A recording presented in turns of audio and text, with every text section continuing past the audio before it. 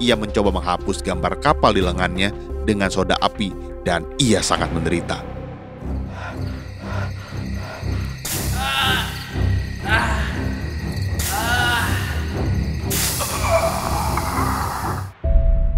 Worldwide Production present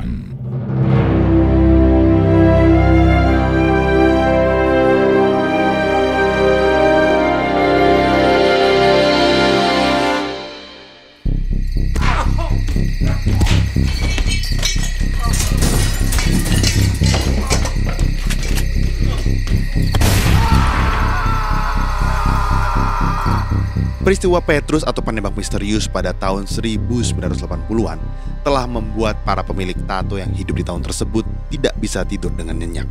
Rasa takut, panik, dan penyesalan telah bercampur aduk serta berkecamuk dalam hati mereka. Pada waktu itu, unit bedah plastik Rumah Sakit Hasan Sadikin Bandung banyak menerima pasien pria yang ingin menghapus tato di tubuhnya. Hal ini disebabkan oleh banyaknya korban penembakan Petrus serta mayat-mayat yang ditemukan mati dalam karung memiliki tato di tubuhnya. Menurut pejabat Direktur RS Sadikin Bandung pada saat itu, Dr. Patmo Hujono, terdapat 30 pemuda yang berminat menjalani operasi. Mereka ingin menghilangkan gambar-gambar di tubuhnya yang selama ini menjadi kebanggaan.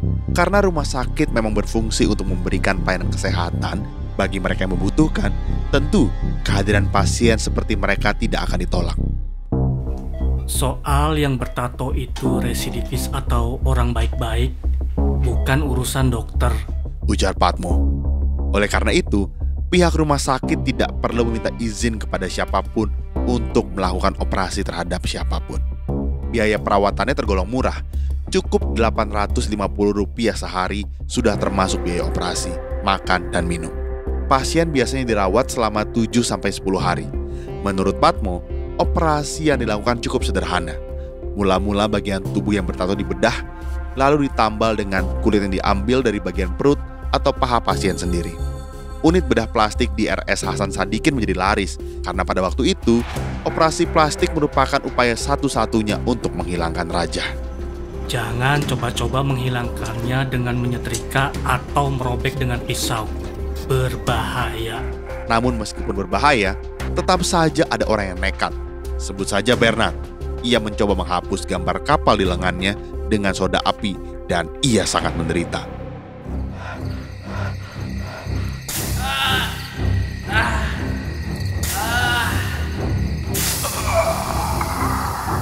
Bernard kemudian pergi ke rumah sakit. Ia disuntik anti tetanus dan diberi obat anti infeksi oleh dokter. Lalu Joko, usia 30 tahun, ia mengaku menato tubuhnya dengan gambar wanita cantik dan tulisan happy love gara-gara ia patah hati. Joko memakai asam sulfat untuk menghilangkan tatonya. Ia merasakan kesakitan yang begitu parah. Begitu pula Wawan, berusia 24 tahun. Ia memakai bahan kimia yang sama. Sakitnya nggak ketulungan dan panasnya kayak dibakar.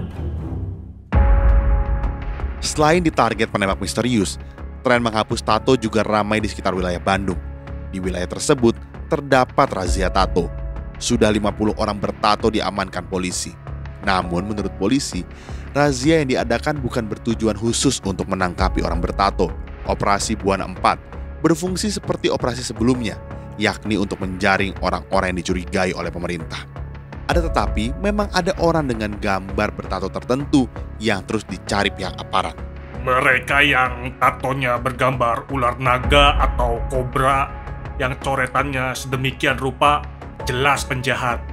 Itu kata mereka sendiri loh. Ujar seorang perwira polisi. Di dalam dunia hitam Bandung, gambar tersebut konon merupakan lambang pemimpin para penjahat di daerah tertentu. Adapun tato dengan gambar kunci biasanya dimiliki oleh pelaku kriminal dengan spesialisasi garong, sedangkan gambar jantung tertembus panah biasanya terdapat di tubuh para pemerkosa. Namun, tidak semua orang yang bertato berperilaku kriminal. 15 orang bertato yang merasa tak pernah melakukan dosa mendatangi polisi Bandung untuk meminta perlindungan. Setelah dicatat dan dimintai foto, mereka lalu disuruh pulang. Lucu, waktu digambari dulu mereka tidak lapor, kok sekarang minta restu? Komentar seorang polisi mengenai fenomena penghapusan tato pada Juni 1983.